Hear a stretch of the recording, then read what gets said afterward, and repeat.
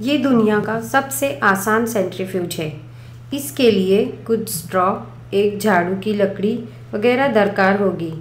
पहले लकड़ी को स्ट्रॉ के दरमियान में दाखिल करें।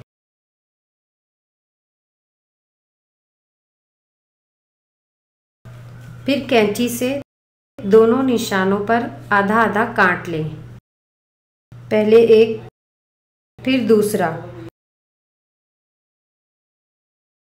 फिर स्ट्रॉ के कटे हुए सिरों को नीचे की तरफ़ झुकाएँ, जिससे एक मुसलस नुमा शक्ल नज़र आएगी। अब इस मुसलस को मज़बूत बनाने के लिए एक टेप की ज़रूरत होगी।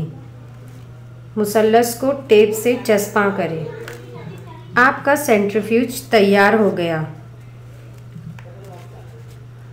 इसे पानी के मग में रखें और एक हाथ से घुमाएँ। इसमें फव्वारे की तरह पानी निकलेगा। आप इसे दोनों हाथों से भी घुमा सकते हैं।